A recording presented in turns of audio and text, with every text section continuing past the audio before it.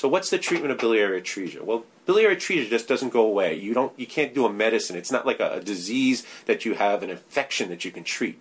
It requires surgery.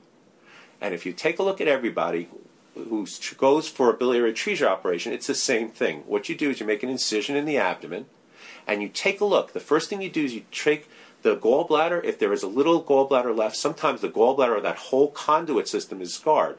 But you try to flush some dye in there and see if indeed they have a scarred common uh, hepatic duct or bile duct.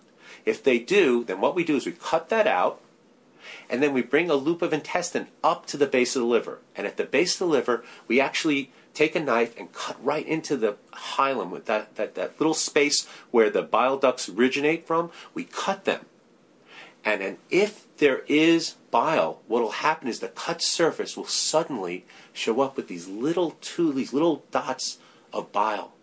And so what our plan would be, it's something called a Kasai operation after a um, Japanese surgeon, is we take a loop of intestine at a certain distance from when it comes into the, in, out from the stomach and the duodenum, out into the abdominal cavity. We take a piece of intestine and we pull it up into the bed of the liver. And so we have a lumen. A lumen is the opening of the bowel, sucked up right into the area that we scored, right into the area that's dripping this bile.